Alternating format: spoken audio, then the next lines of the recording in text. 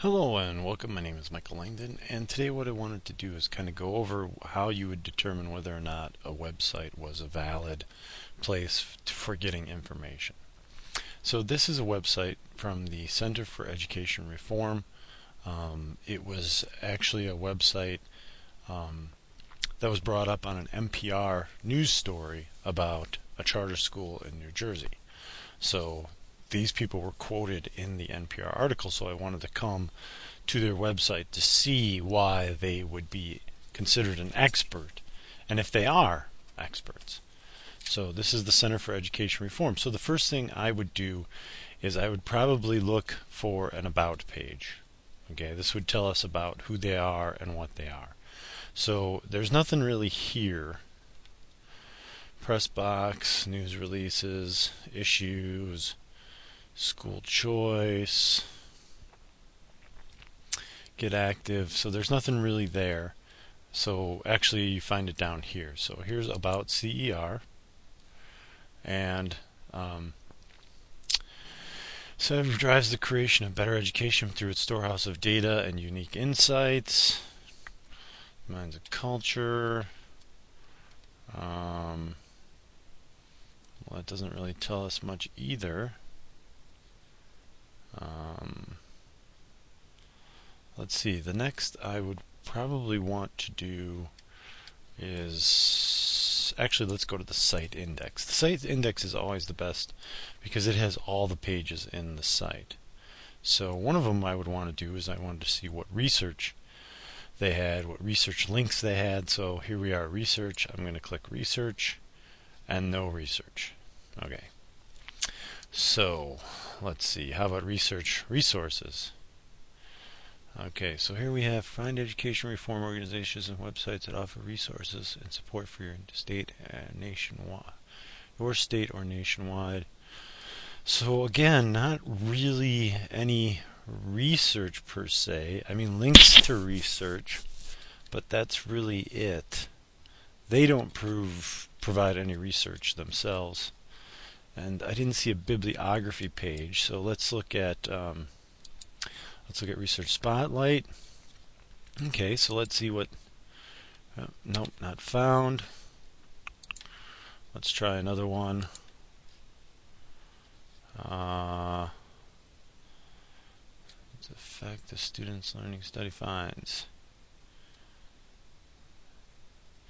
issued a report. That's not a report is not a study. A study would have to be in an actual um, peer-reviewed research journal.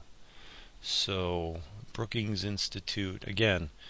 Um, these none of these are actually in peer-reviewed journals, so they're not really studies. So those don't really count. Let's try this. Uh,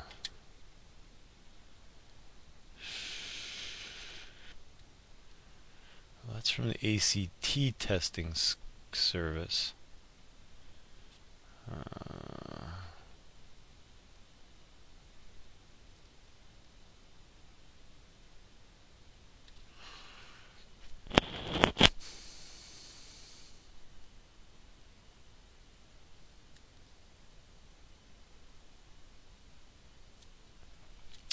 Uh,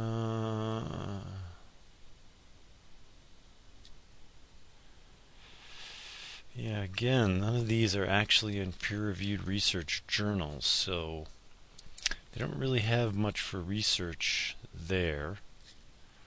So, and then some of those links uh, didn't even didn't even come up. Yeah, like some of these up here, these newer ones, or those older ones, newer ones. There's not even anything coming up. So uh, let's see, is there anything I would like to know about the people who work here? Um,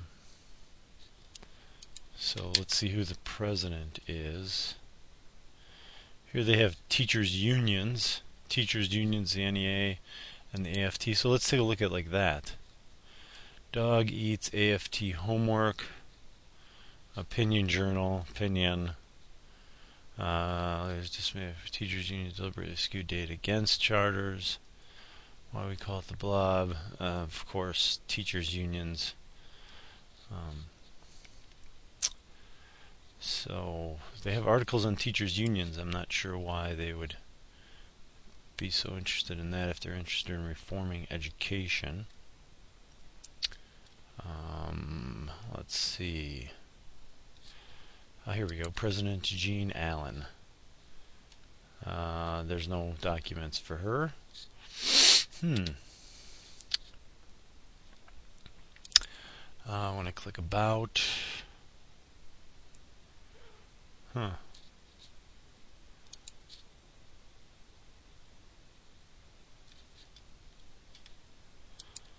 Let's see if there's anything here.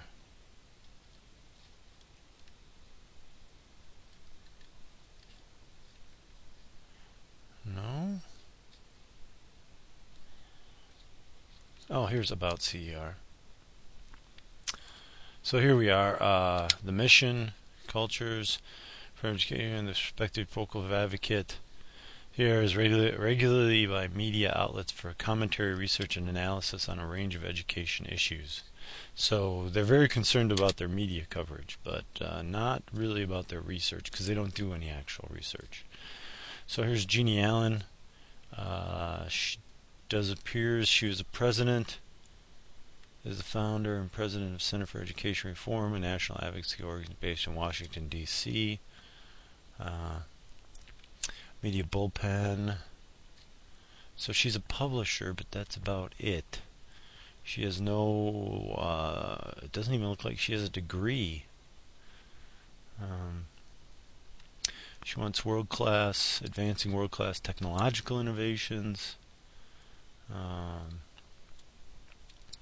she's a recipient of the Education Industry Association's Friend of the Education Industry Award. So she's a friend of the education industry, uh, which is ironic. And then, yeah, basically she has no degree in anything. It's hard to know. So this would not really be a legitimate website. Uh, or would she be someone who would be a legitimate expert? So, um, so yeah, this website really wouldn't, you wouldn't be able to use this as a source of credible information about education. Okay? So that's how you tell. You look at who the people are running it, you look at what research they've done. Is the research done in a peer reviewed journal? If it's just reports issued by think tanks like them, that's not research. Okay, research requires peer review, it requires repeatability, it requires experimentation. That's not what they're doing. This is Michael Langdon, and I am the Learning Engineer.